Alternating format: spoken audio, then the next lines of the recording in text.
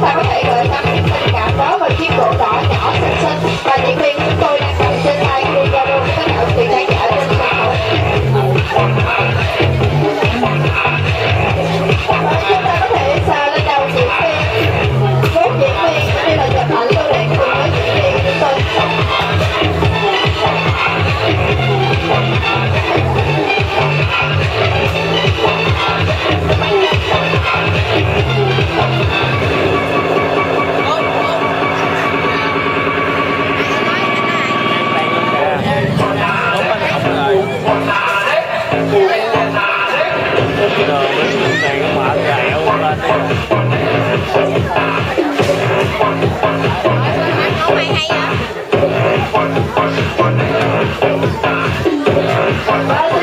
cảm ơn tình cảm của tất cả quý vị khán giả. Đến đây của tiệc của chúng tôi.